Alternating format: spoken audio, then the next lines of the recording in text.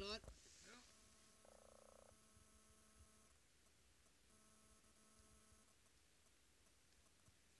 Jeg kom på at jeg må ta med den her, ellers så knekker jeg den.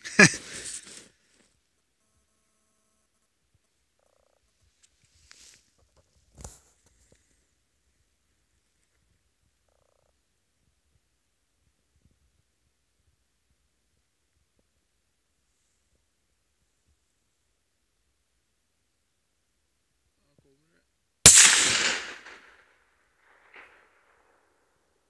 Jeg tror det var høyt oppe til høyre.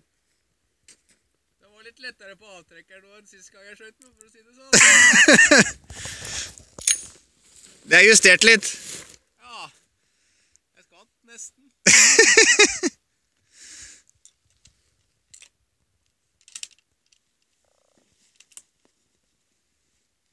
Men du traff jo, da. Du traff jo.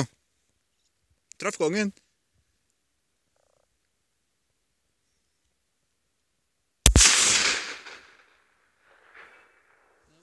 Var så å si.